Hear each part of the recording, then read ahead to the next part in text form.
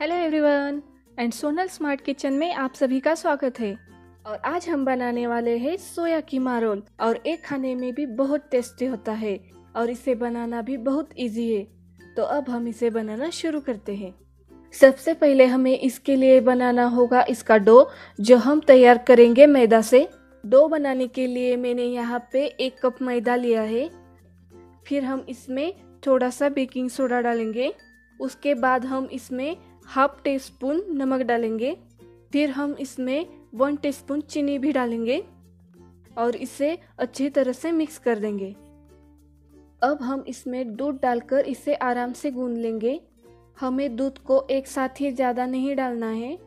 हम इसे थोड़ा थोड़ा करके मिला लेंगे और ये जब तक अच्छे से स्मूथ नहीं हो जाता, तब तक हम इसे अच्छी तरह से गूंद लेंगे। अब हमारा डो बनकर तैयार है। अब हम इसे 30 मिनट तक ढककर रख देंगे, क्योंकि ये अच्छी तरह से सेट हो जाए। जब तक डो अच्छे से सेट होता है, तब तक हम सोया कीमा रोल के लिए फिलिंग बना लेते हैं। जब कढ़ाई गर्म हो जाएगी तो हम उसमें टू टेबलस्पून ऑयल डालेंगे। अब उसे गर्म होने देते हैं। जब ऑयल गर्म हो जाएगा, तब हम उसमें एक टीस्पून अदरक की पेस्ट डालेंगे।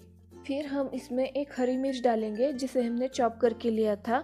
फिर हम इसे थोड़ी देर तक भूनेंगे। अब हम इसमें डालेंगे हाफ़ कप मटर के दाने, उससे भी थोड़ी देर तक भून लेंगे। साथ ही हम उसमें हाफ़ कप बीन्स डालेंगे और उससे भी थोड़ी देर तक भून लेंगे, क्योंकि इसे पकने में थोड़ा ज़्यादा टाइम लगता है। फिर हम इसमें हाफ़ कप चॉप की हुई गाजर डालेंगे और थोड़ा सा भून लेंगे। साथ ही हम इसमें फूल गोभी भी डालेंगे। इन्हें हमें एक से दो मिनट एकदम क्रंची रहने तक भूनना है। अब हम इसमें गोभी डालेंगे। साथ ही हम इसमें टमाटर भी डालेंगे। फिर हम इसमें हाफ़ कप शिमला मिर्च डालेंगे। सब्जियों में हमने मटर के दाने, बीन्स, गाजर फूल गोभी गोभी, टमाटर लिए हैं। आप यहाँ पे आपकी पसंद की कोई भी सब्ज़ी ले सकते हैं। हम दो मिनट तक इसे भून लेते हैं। अब हम इसमें वन टीस्पून नमक डाल देंगे। फिर हम इसमें वन टीस्पून जीरा पाउडर डालेंगे। उसके बाद हम उसमें वन टीस्पून धनिया पाउडर भी डालेंगे। अब हम थोड़ा सा गरम मसाला डालेंगे। फिर हम उसमें वन टेबलस्पून लाल मिर्च पाउडर डालेंगे। यहाँ पे आप, आपके हिसाब से कम या ज़्यादा लाल मिर्च पाउडर ले सकते हैं।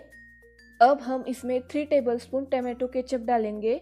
साथ ही हम इसमें थोड़ा सा नींबू का रस भी डालेंगे और थोड़ा सा हरा धनिया भी डाल देंगे और इसे अच्छी तरह से मिक्स कर देंगे।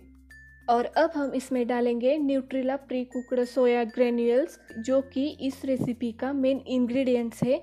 इस रेसिपी को और भी ज़्यादा हेल्दी बनाने के लिए हम इसका यूज़ कर रहे हैं और अब हम इसे अच्छी तरह से मिक्स कर देंगे।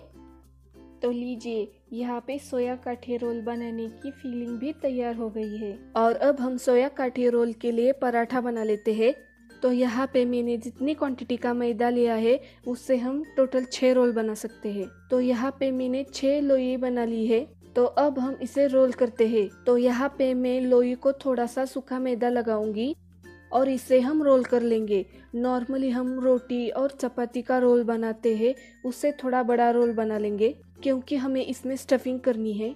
अब हम इसे सेक लेंगे। जैसे हम नॉर्मल रोटी और पराठा सेकते हैं, वैसे ही हम इसे सेक लेंगे। जब पराठा दोनों साइड से हल्के से ब्राउन हो जाएँगे तो हम इसे निकाल लेंगे और स्टफिंग कर देंगे।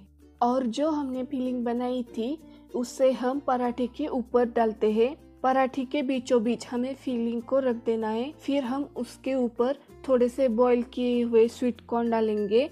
और थोड़ा सा बारीक कटा हुआ अनियन भी डालेंगे। साथ ही हम इसके ऊपर थोड़ा सा हरा धनिया भी डालेंगे।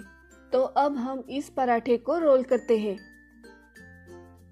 तो यहाँ पे हमारा सोया काठी रोल बनकर तैयार है। अगर आपको मेरी रेसिपी ट्राई करने के बाद पसंद आती है तो वीडियो को लाइक शेयर ज़रूर करें और मेरे चैनल को भी सब्सक्राइब करें। साथ ही बेल आइकन पर भी क्लिक करें, क्योंकि जब मैं कोई वीडियो अपलोड कर लूँ, तब उसके नोटिफिकेशन आपको मिले।